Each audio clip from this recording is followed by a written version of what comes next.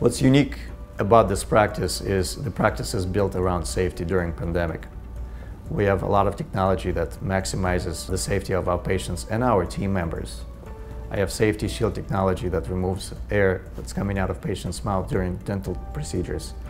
We also use UV lights and uh, plasma filtration on the HVAC level. We sanitize equipment after each patient.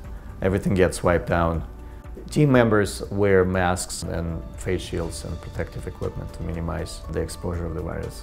We expect patients to be wearing masks in the practice. The only time when they take off masks is during the dental procedure.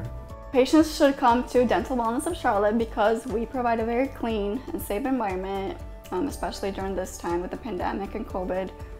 We provide the Safe-T-Shield for the protection of patients and ourselves. We also sterilize our instruments and disinfect each room after each patient. The hygiene of this dentistry is really important to me.